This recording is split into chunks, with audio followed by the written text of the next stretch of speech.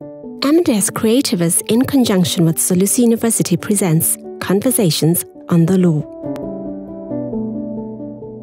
Greetings. It's good to be back, and I hope and trust I find you well, my dear friends. As promised, we are on remuneration. This is the second part of employment law, and we want to look at section number 12 of the Labor Relations Act. As we take off, we want to consider the contract its formation and particularly the business nuances that are in there. So as we look at this, we want to appreciate the relationship between the employer and the employee. I'll, I'll, use more of a business definition of what the relationship is more like than a legal one. What an employer does is he or she procures services over time. So an employer simply says, I need you to do A, B, C, and D in eight hours. I need you to do EFG in 40 hours of this week. I need you to do this over a month, over a year, over the foreseeable future until you retire at 65. That is the procurement of services over time. On the other hand, what the employee looks at is what he or she performs over time. So take note, what differentiates these two is the employee has to perform and deliver on a service to the employer. And the employer has to buy that particular service or performance over time. So, what they have in common is the time element. So, as we look at the time, these are two sides of the coin that you're going to find having to grapple with as we read further on. But as I was looking at the issue of um, the relationship between the employer and the employee, something comes to mind right now. Um, I'm just reflecting on the book of Revelations. I think it's chapter 22, the verses 12. Let me just paraphrase it. Christ says unto you and I, Behold, I come quickly, and my reward is with me to give to every person as his work shall be. Now, this particular text uses employment language. And how does it do so? Remember, we said an employer is one who pays remuneration or rewards someone. They could do so expressly or they could make the undertaking tacitly, impliedly.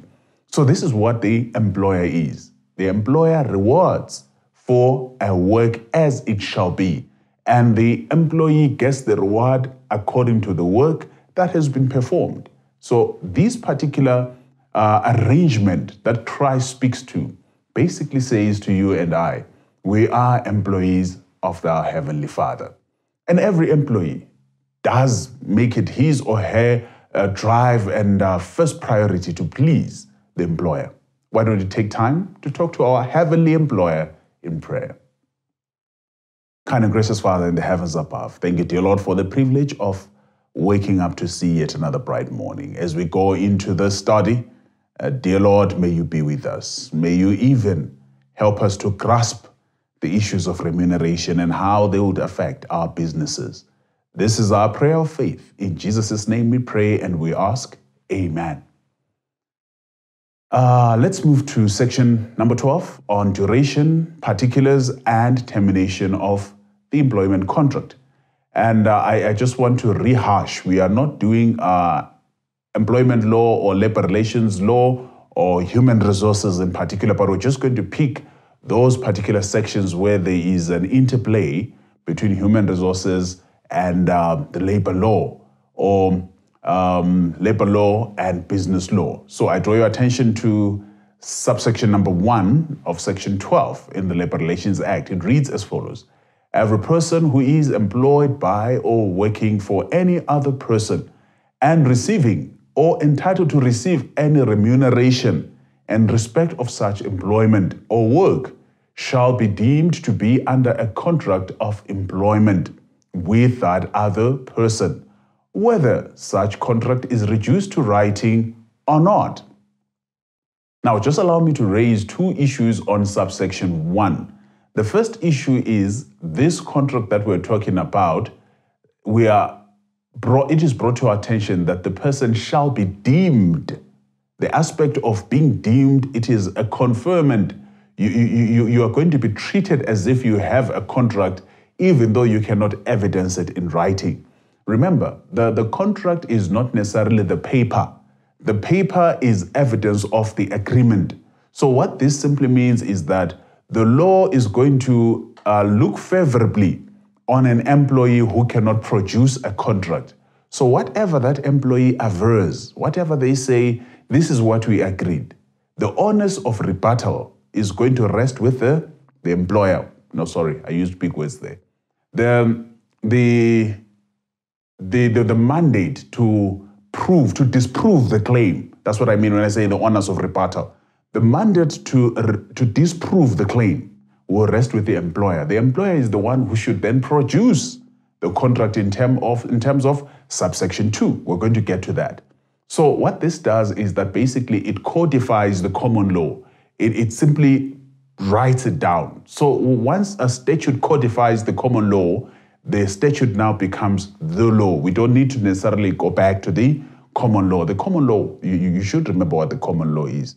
I'm talking about um, this is judge made law or law that has been passed down from um, uh, Roman Dutch law. Okay, so when the judicial precedences um, they make the decision, I'm talking about judicial precedents from the olden codes, the codes, um, the law as it was applied in the Cape of Good Hope. That would what that would that is what would become the common law in this case. All right. So what then would happen is that this particular employee shall be deemed to have a contract, whether that contract is reduced to writing or not as soon as there is an agreement, there is an implied, there is an entitlement to receive any remuneration. So if you receive it, you're an employee. If you're entitled to receive it, even if it's mid month, you're already an employee. So the issue is you can prove that you have received money from this person with a pay slip, or you can prove with a deposit into your bank account. If it's electronic money, prove that you have received money. When you do so, that already establishes the matter that you are an employee of the other. Now let's go to subsection 2. Listen to what it says. An employer shall, upon engagement of an employee, notice now, inform the employee in writing of the following particulars. Now, I, I, I, want, I want to draw some distinction here. When you do interpretation of statutes, there is what is known as peremptory language or mandatory language. Uh, the, the, the, this kind of language demands demands compliance. So when you you find words like may, they're not peremptory; it's optional. But when the law says shall, it means it is not optional. It is mandatory that it should be done. So it says shall in writing. So the one who has an obligation to document things is the employer. So the employee cannot come in and say, I have my contract here, could you kindly sign it? They do not produce the contract, the contract that is to be signed by the employer, but the employer is the one who should produce that particular contract. Now, as we look at this particular aspect of why these contracts have to be produced, you want to notice that these contracts are given so that the particulars that are stated there are going to be clear and these are the particulars. Number one, the name and address of the employer. Number two, the period of time, if limited, for which the employee is engaged. C, the terms of probation, if any. D, the terms of any employment code. E, particulars and um, its manner of calculation and the intervals at which it will be paid. F, particulars of the benefits receivable in the event of sickness or pregnancy. G, hours of work. And H, you'll be looking at particulars of any bonus or incentive protection scheme. I, particulars of vacation leave and vacation pay. J, particulars of any other benefits provided under the contract. So all these particulars must be stated in the contract, and there are 10 of them. 10 of them these must always appear right in there. But uh, before we go into a deliberation on these 10 particulars, now I want to look at why the law demands that the employer must put this in writing. Why should this be in writing? Come with me to COBIA 2019 and let's consider section 33. I want us to look at uh, subsection 1, paragraph 1, I mean paragraph A and subparagraph 1. What does subparagraph 1 say? Contracts on behalf of a registered business entity may be made in the following manner. Now, I want to underscore may be made in the following manner. I've just, I've just, I've just uh, shared with you that when, when, when, when um, the law or a statute says shall, that is peremptory language. This is uh, mandatory. But when it says may, this is now optional. Now continue to uh, subparagraph A and uh, listen to what it says. Any contract which, if made between private persons, would be required to be in writing and signed by the parties may, underscore again, may be made on behalf of the entity in writing and signed by any person acting under its authority, expressed or implied, and may in the same manner be varied or discharged. Now, I want you to take note. What we are now looking at is someone acting under its authority. So, this is a very pivotal issue that we want to look at for today. Acting under its authority. What does that mean? To be granted that authority. So, when we go into contracts, what are we contracting over? We're going to find that we are contracting over the authority. So, it is the employer who confers that authority upon you and says, This is what you shall do in my behalf this is what you shall do for me. So, this kind of authority that is given may be expressed, it may be implied. So, this is now the authority that is going to be exercised as written, given in writing, or as assumed based on conduct. We're going to infer that there must be authority herein. So, the cases we're going to look at later on are going to hinge on this issue. Now, I want you to look at um, subsection 2. Uh, listen to what it says. All contracts made in accordance with subsection 1 shall be effectual in law and shall bind the registered business entity and its successors, its judicial manager, its liquidator, its executor, its curator. I'm just adding those. I'm sure you pick those from the definition of an employer. Those are the successors. We already covered that. I would suggest you go back to the, um, the, the, the earlier presentation. So all these could be successors of the employer. They are going to be bound. And all other parties to the contract. So why then does the Labor Act insists that the employer shall produce this in writing? The reason is now clear so that the employer shall be legally bound. So this is um, when you looked at um, the supremacy clause, where we say the Labor Act shall um, take precedence over any other instrument that is inconsistent with it. In this case, the Labor Act and COBIA 2019 are in tandem. They, they, they are working hand in glove to, to ensure that social justice is advanced, to ensure that we have a democratic process, to ensure that the promises that are made are going to be delivered upon. And when we looked at, um, was it uh, part one? We looked at um, sanctity of contract. So when people enter into employment contracts, they want the assurance that those who make promises, they're going to make good on them. And when they do so, it is because they are legally bound. Now, let us move on to the 10 particulars that should be in the contract. And some of these I'm just going to mention in passing. And uh, the first one that we find is you ought to have the name and address of the employer. So, why the name and the address of the employer? We want to look at that. You can find this very simple, straightforward. You need to know who has employed you, you need to know where they're found. So, um, in spite of it being common sense, we want to look at why the law would then require these things as the business person, you must always investigate this. So when registration is being required, the name, the name is proof of registration in terms of COBIA 2019, section 19. So without a name, a business name, you are not an entity that is registered. So what does section 19 provide for?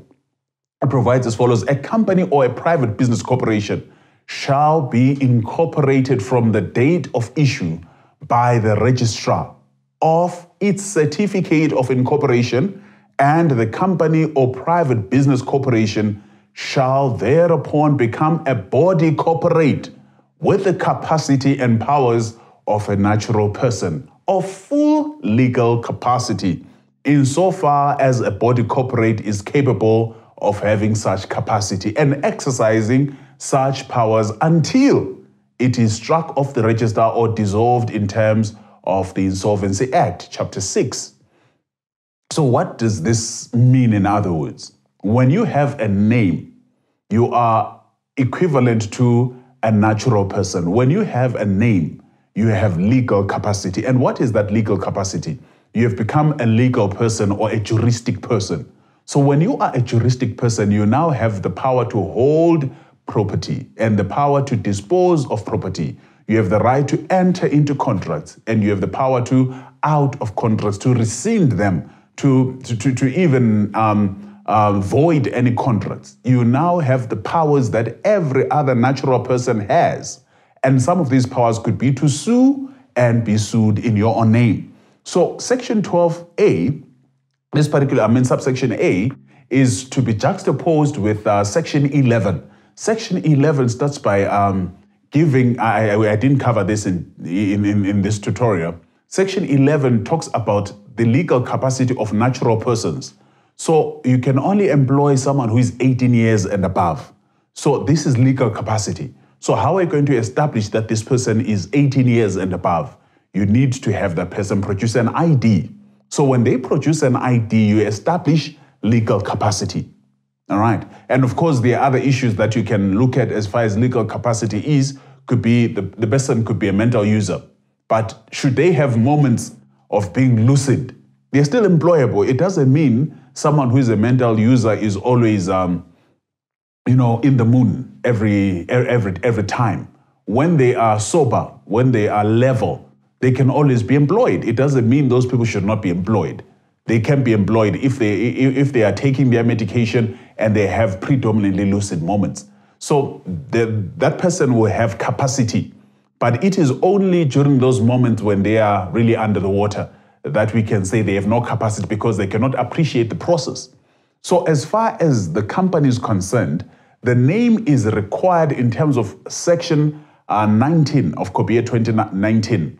Oh, interesting. I hadn't realized that. Section 19 of COBIA 19 uh, so that they prove that they have full legal capacity. And part of that legal capacity is the right to employ, the right to enter into contracts. That's why we need that legal capacity to be established. So when you then write your name and say, I'm open area trading as a company, you have established a right to trade. You have established a right to employ. You have established a right to sue for recovery so this is why you need that name. And then, secondly, in that same line, there is the aspect of that this particular employer must also give particulars of their address. So, why the address?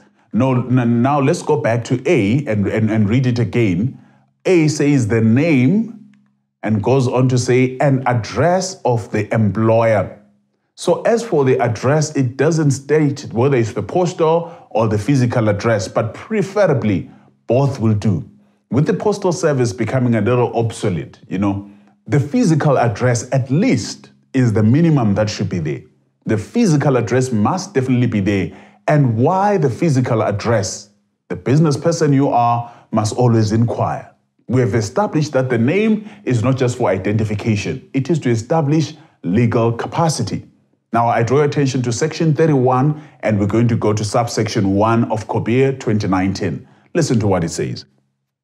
Every registered business entity shall have in Zimbabwe, skip to subparagraph B, a registered office at a physical address at which legal process may be served on the entity, provided that the registered office of a private business corporation may be the physical address of its accounting officers.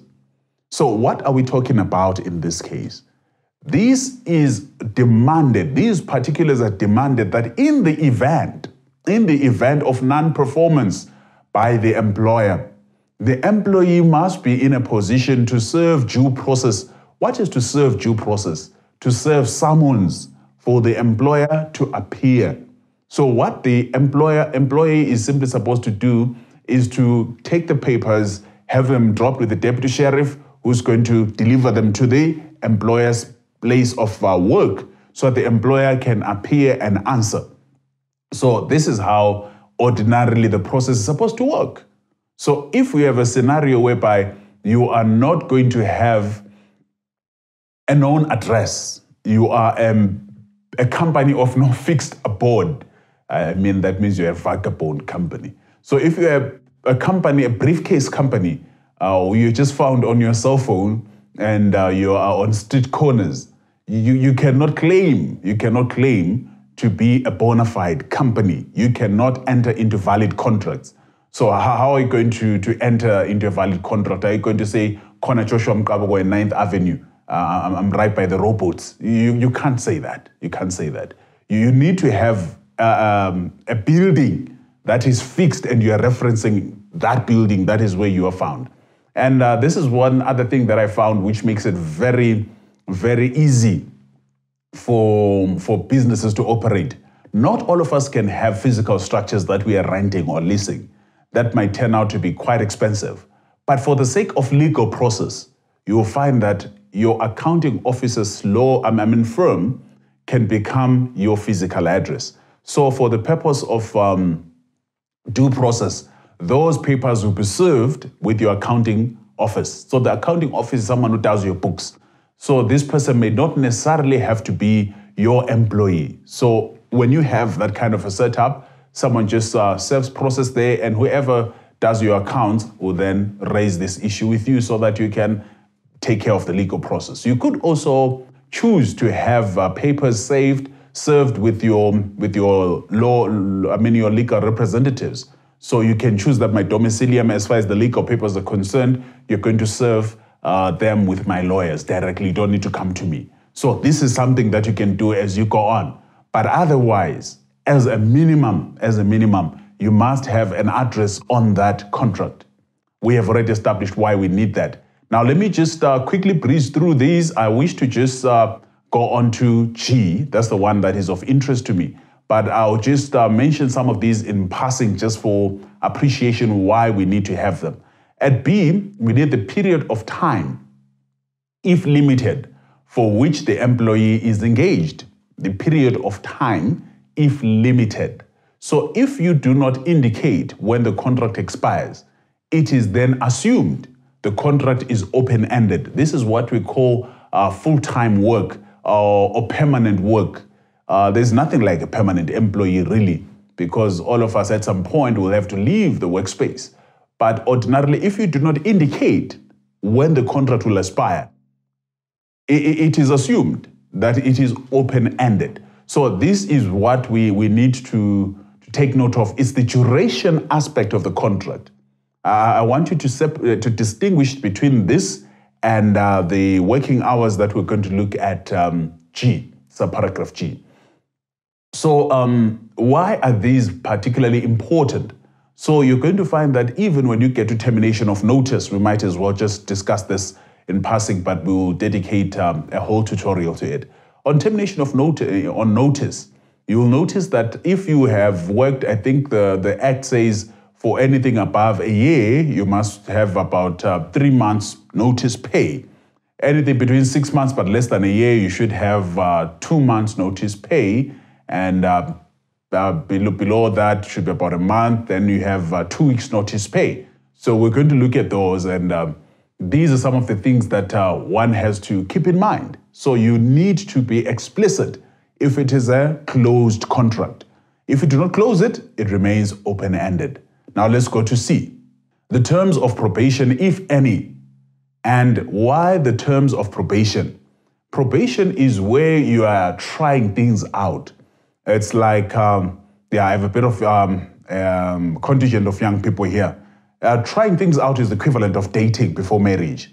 When you are dating, you, have, you are not making uh, lifetime commitments. You want to see how things go. And um, when you have uh, been convinced that things are working out pretty fine, then you can make a commitment and uh, engagement, from engagement, marriage. So the employment law basically operates this, uh, under the same, same kind of scope. So these kinds of um, probation periods should not go on forever. The maximum you can have is three months, and, and, and they vary. So the maximum you can have within three months, you must make up your mind on whether you want to commit or not. And um, let's do a bit of family life. Surely, in three months, you must know whether you'd want to date someone for the foreseeable future or not. In three months, you must know. But I'm not saying in three months get married. But I'm saying in three months, you must have a fair, a fair appreciation of whether you enjoy someone's company and uh, you can uh, spend time with them. Uh, so, those of you who get married within three months, surely the study of uh, employment law must give you a clue that you are rushing things. You are rushing things. Take your time and make sure you measure twice and you cut once. Let us go to item uh, D, subparagraph D. It says the terms of any employment code. So, on the employment code, we're looking at uh, the terms that would apply should someone need to be terminated. And these, um, these employment codes are registered in terms of section 101. We're not going to dwell much on them, but these are the disciplinary codes that are used in uh, disciplinary processes. We are going to maybe mention these in passing. And then E, the particulars of the employee's remuneration, its manner of calculation, and the intervals at which it will be paid. So, what we want to appreciate is that this is an essential element of the contract. So, we said this uh, section is about remuneration. So, I just mentioned it as remuneration, but there are many other aspects that uh, surround this element of remuneration. So, as we go into it, we are not going to have the ordinary understanding of saying, Show me your contract, because usually when we go to the contract, our interest is to see how much you will earn or how much the person earns the contract is more than just how much you earn. So you're going to notice that when you say you must give the particulars of the employee's remuneration, it's matter of calculation. Why the matter of calculation? It's not about the dollar figure, but it is how we arrive at it. So this is the job classification, in other words. You are in grade one, you are in grade two, you are in grade three, you are in grade four. Why? So that we can address the issues we addressed in the previous um, presentation discrimination. So your contract must show it is the primary evidence that there is no discrimination between employees. There must be equal pay for the same job. So, how are we going to prove that if the, con- the contract does not stipulate how you arrive at the grade? Because the value, the dollar value, always change, especially in Zimbabwe we earned, um, I remember started work 2005, earning Zim dollars. From Zim dollars 2000, was it 2009, 2018, I can't remember.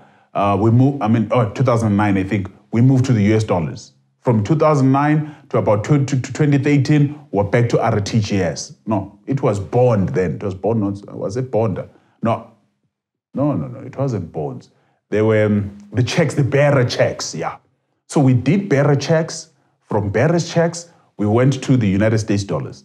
From the United States dollars, we went to the RTGS. From the RTGS to the bond. So, so, so we've had many variations of currencies.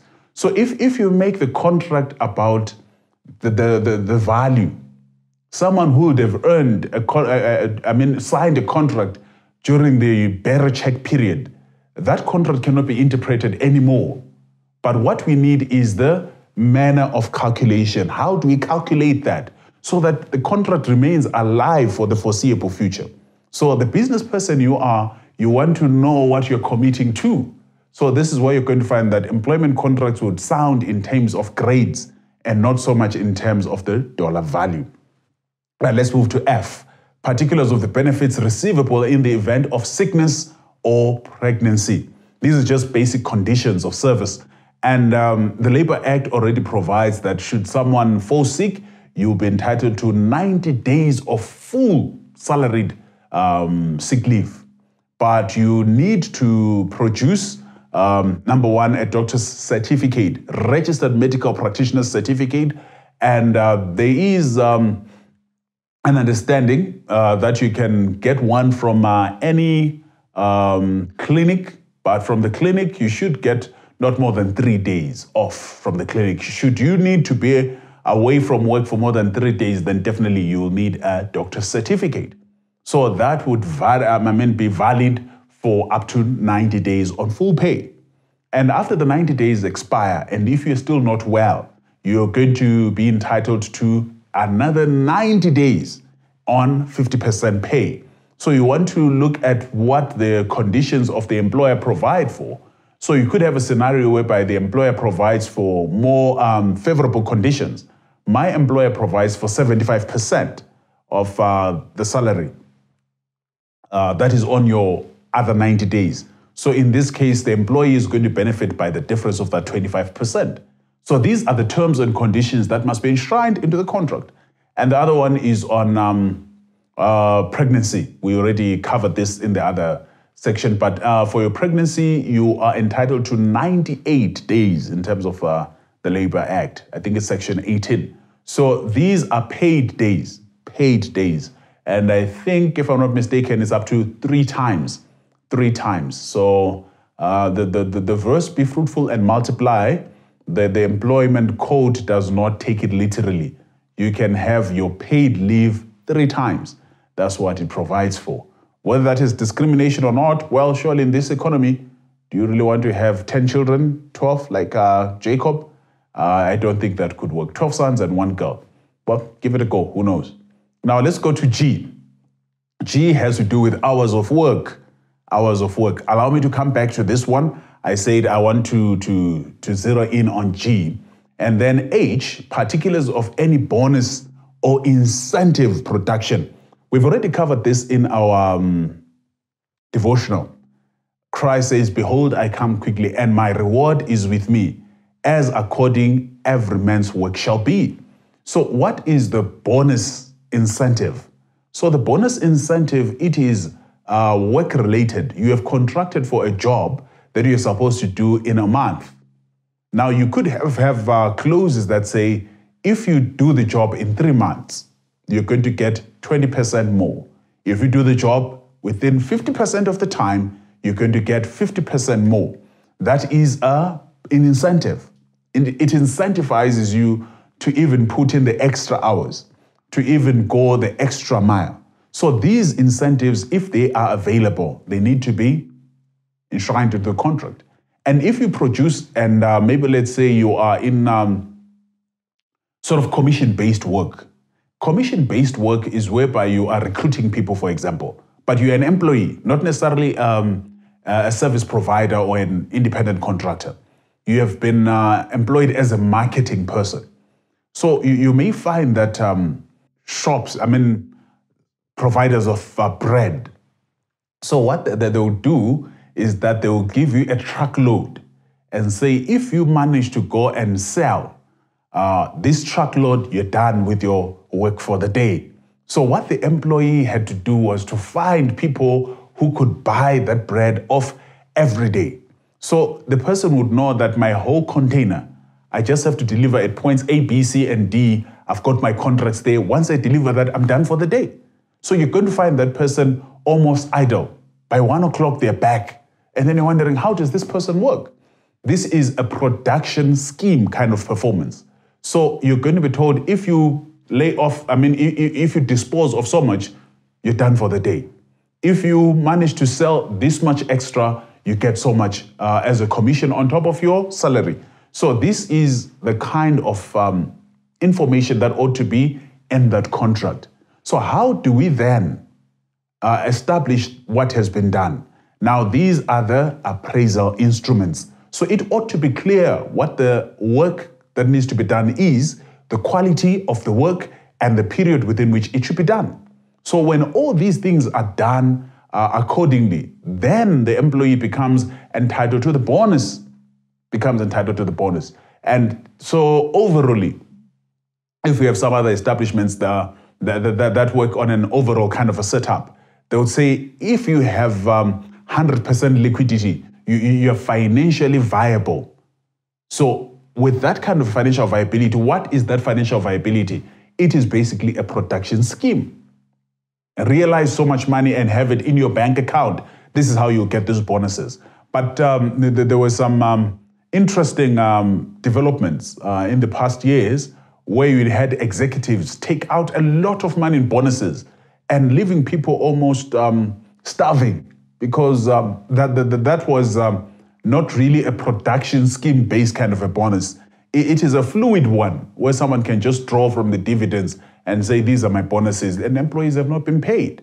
That is rather on the irresponsible side. Now, let us look at I. It provides as follows particulars of vacation leave and vacation pay. So, what we're looking at now is your typical annual leave. Your, your, your vacation pay would be accrued leave. You need to put in, um, is it uh, a year's work before you can become eligible to receive your vacation pay? That one is straightforward. So, in essence, in year two, you're going to work 11 months.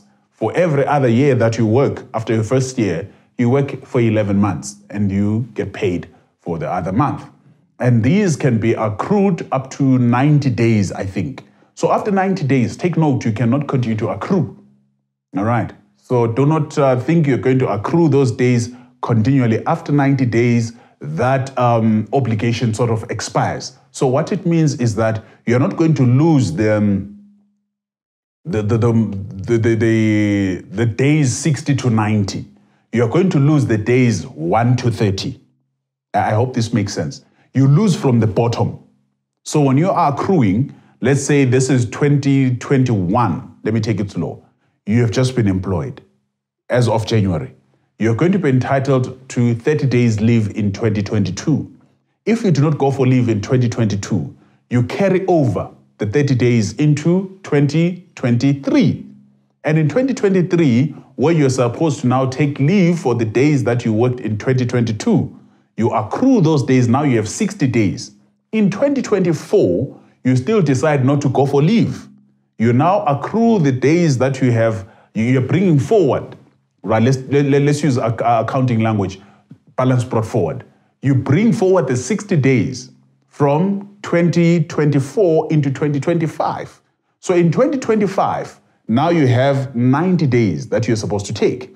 Now you decide, I'm going to take my leave in 2026. When you cross over into 2026, you cannot pull more than 90 days. So you can only pull 60 days. Which 60 days are you pulling? From 2024 and from 2023. The 30 days that you did you had in 2022, you've lost them. I hope this is clear. Now let's go to J, the open-ended one, particulars of any benefits and any other benefits provided under the contract of employment. So this is an open-ended one. Now G speaks to the job description. Now, uh, I, I, before we go into G, this is where we're going to end. Before we go into G, I want you to take note. Basically, a contract then gives rise to three substantive documents.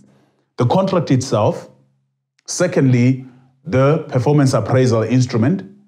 Thirdly, the one we're going to go into is the job description. So when you are looking at establishing this relationship, you want to make sure the employee emerges with three documents. Job description, I take them again, appraisal instrument, and contract. Why the contract? Because it is a requirement. Why the job description? because it is common sense and it is in your best interest to establish the authority that we talked about in section 33. What is that authority that you want to confer? And then there is the job appraisal. Why the appraisal? So that the issues of um, bonuses are not disputable. They are not disputed at the end of the day. Let us now go to G. What does G say? It's a, it's a very simple one. It's a very simple one. Hours of work. Hours of work. So when we look at hours of work, many a time we ask the question, um, what are your hours of work? Someone will say, I work from 8 to 5. That is just straightforward. Hours of work. So your contract must stipulate the hours of work. But we're still going back to that issue to say this is a coin. There are two sides to it. When an employee defines work, this is how they define it. They define it with the skill. It is the performance. So when you ask them, what do you do? They'll say, I'm a teacher Monday to Friday. They are describing a performance vis a vis time. Now, when you look at the employer, the employer is looking at the service delivery over time. What am I paying for over time? So, when you look at hours of work, number one, we're looking at the duration that the skill is going to be performed. On the employer side, we're looking at the waiting period before the service delivery is done, is completed. So these are the two sides of the coin. So for the employee, they will look at the contract and look for the duration of performance. As the employer is looking at the contract, the employer is looking at the contract to look at the duration of delivery, service delivery. So this is where the distinction now begins to arise. So when we look at um, these issues, we want to establish that um, there is what is known as the full time equivalence. So, the full time equivalence basically does a rate whereby a full time employee, a full time employee will be someone who will give you 40 hours a week. So, such, the, such a person will be at 1.0. So, when someone works for 20 hours a week, the full time equivalence, they are at 0.5. When you work once a week, you are at 0.2. I'm sure you get the idea. So when you say what is the full-time equivalence in terms of your employees, so you're going to look at you how many part-time workers you have, put their hours together, add them up, and say because all those are decimals, add them up, then it, it will show you how many full-time employees you're supposed to have. You're going to look at this in your in your personal management. Okay, the full-time equivalence, but I just wanted to raise this so that you at least you have it at the back of your mind. So when we now have that full-time equivalence we can say even though you have 100 employees who are working once a, once a day, all these employees staggered across, how many full-time employees would you have? Then you just divide that by 40. And then that's how you would know how many employees you have. Okay, we have established what the, the full-time equivalence is all about.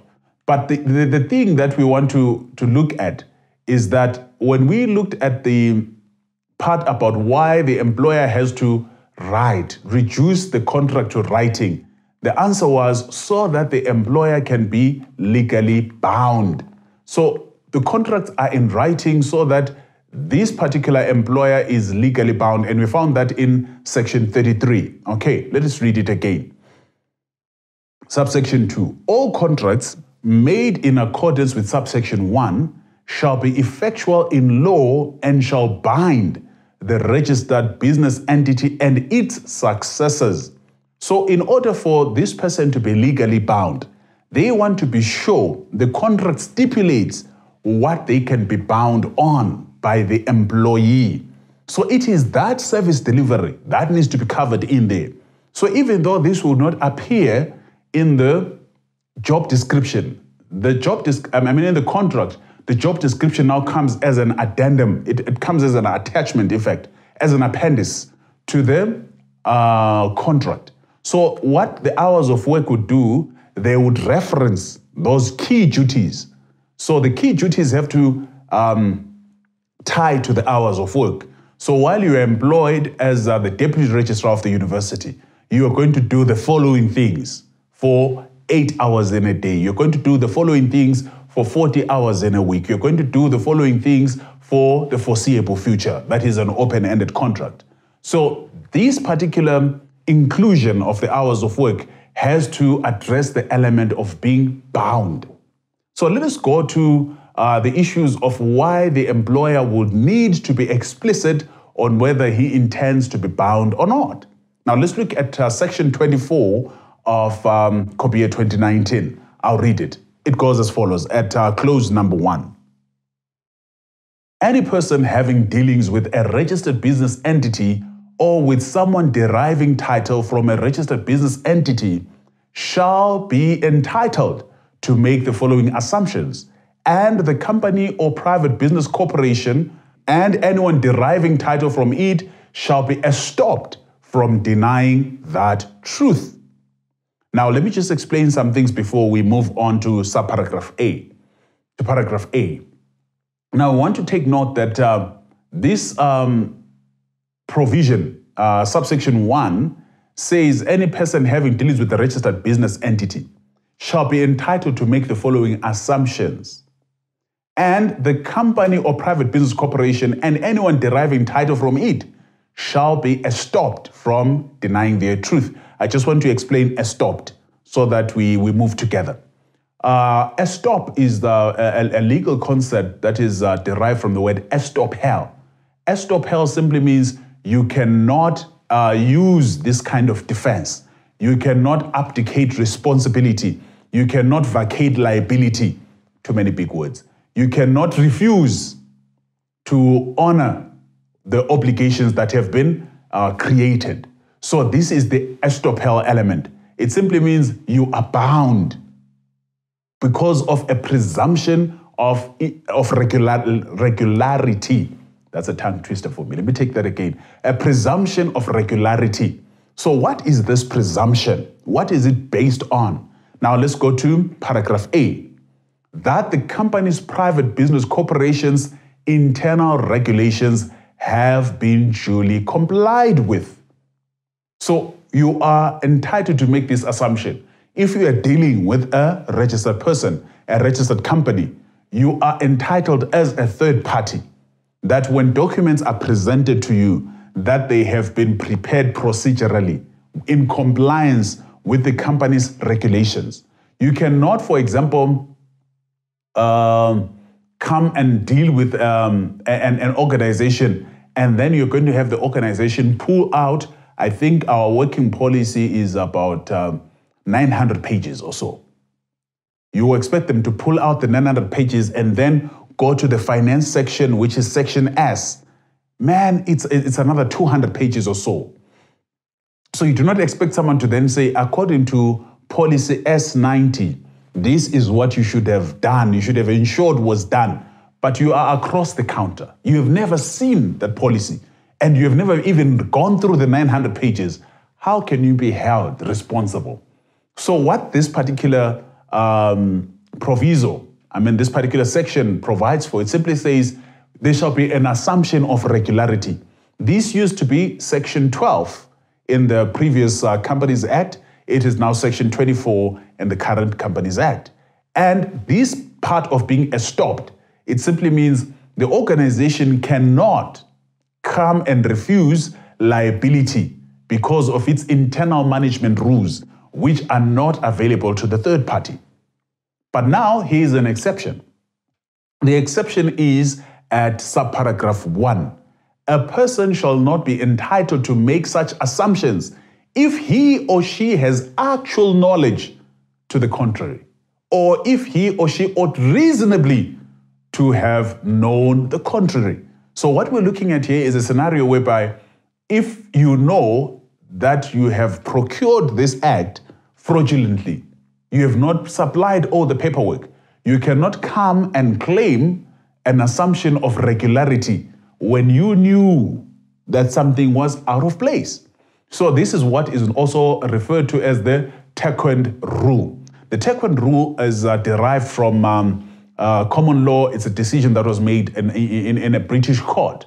And basically, what it simply means is that the employer is going to be barred from exercising or abdicating its responsibility on the grounds that this person um, should have known.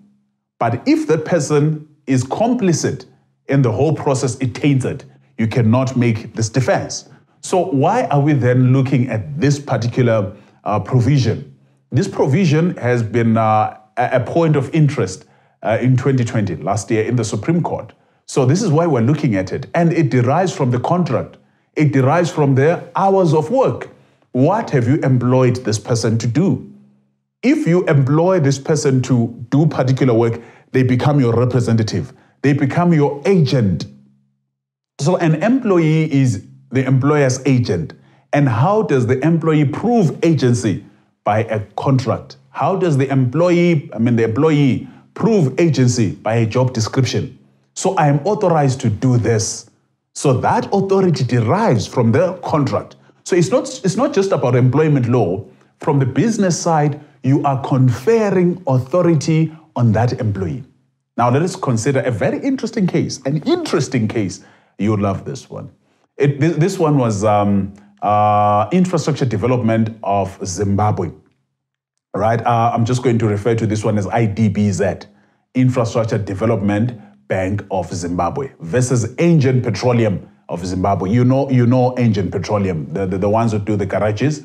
And um, this one was a 2020 case at the Supreme Court. This is what happened. This is what happened.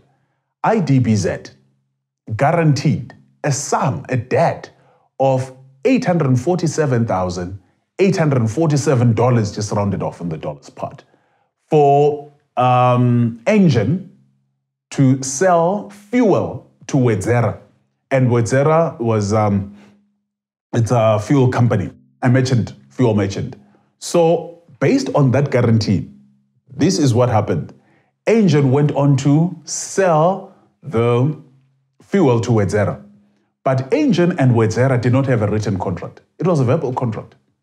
So I think uh, somehow got good advice to say, don't sue Wedzera.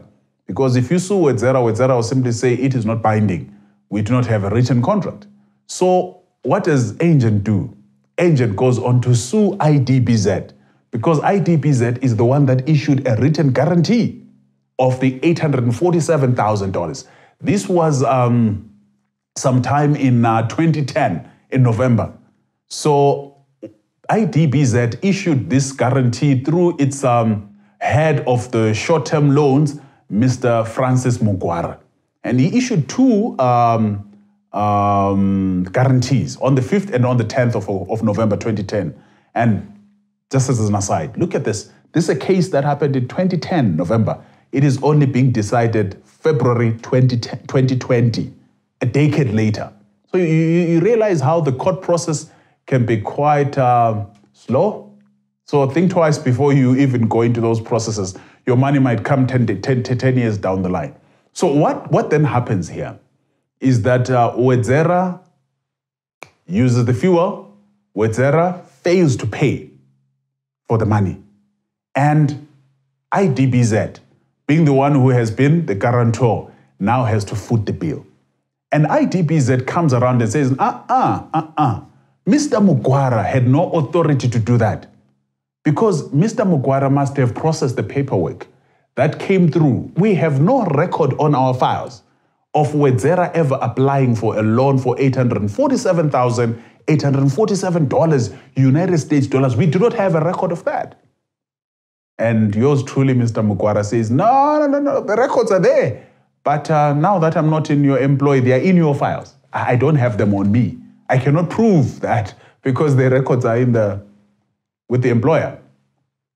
And uh, Mr. Mugwara then goes on to say, as far as my job is concerned, I had the authority to issue the loan, the guarantee, and I did so procedurally. And when the court now looked at the papers, they said, in terms of his job description, indeed he had that authority. Even though IDBZ argued that he, there ought to have been two signatures, the other signature was that of a subordinate who was supposed to raise the paperwork, but he was the superior authorizing. So, because he was the superior, the fact that he issued uh, documentation, a guarantee with one signature, did not necessarily invalidate it. And the assumption of regularity comes into place.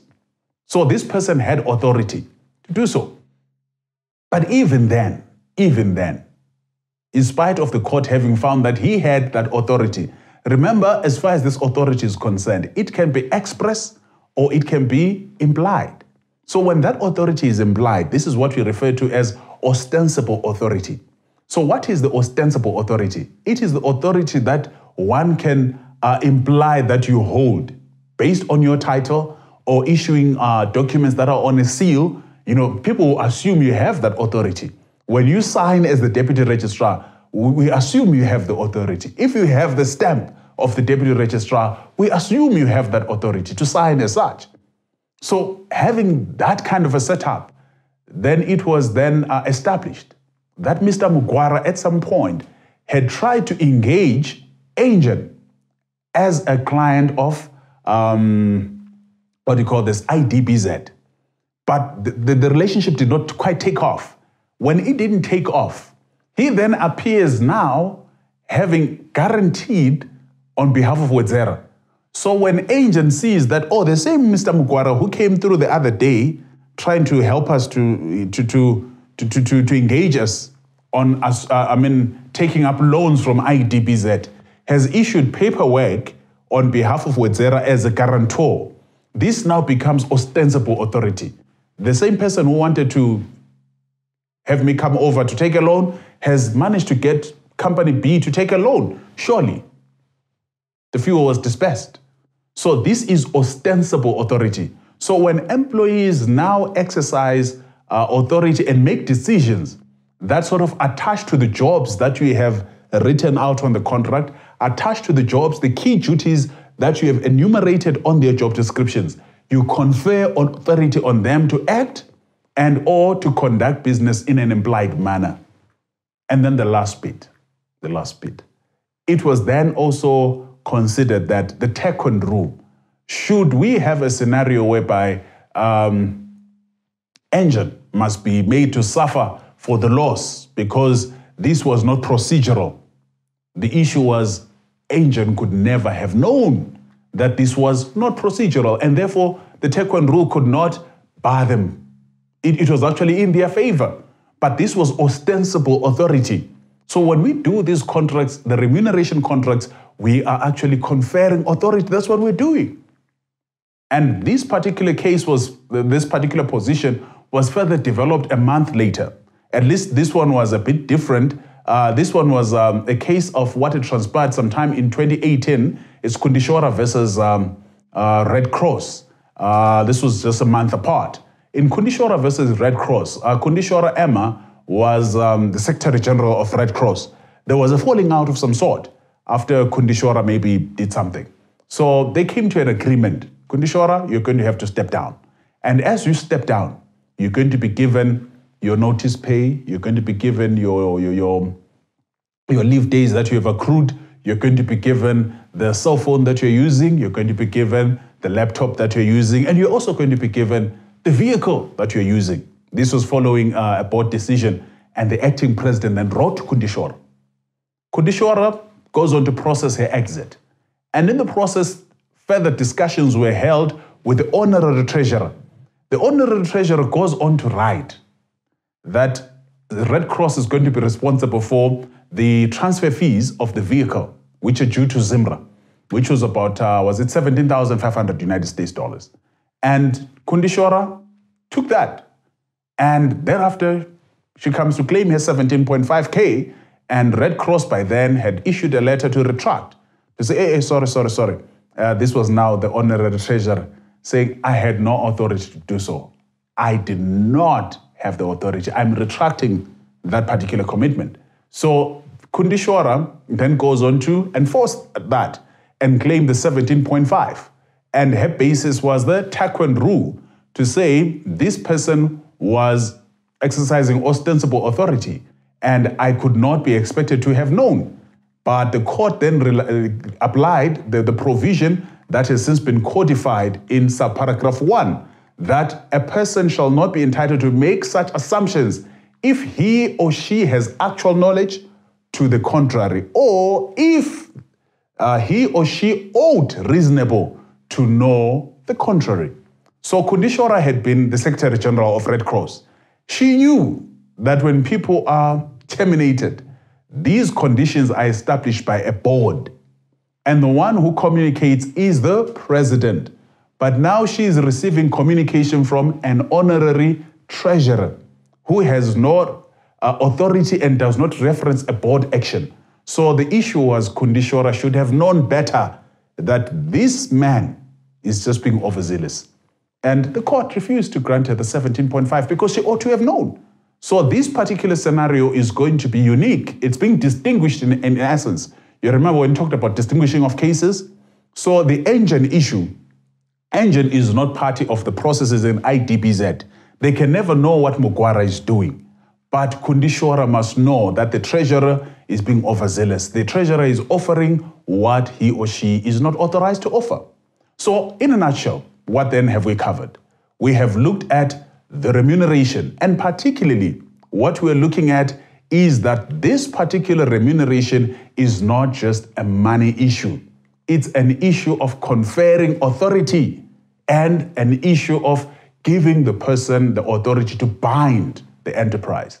Do we really want to do that in a rush? As business people, we want to think twice before we produce these three documents the contract, the job description, and lastly, their performance appraisal. Let us meet again in our next installment. Until then, may God bless you.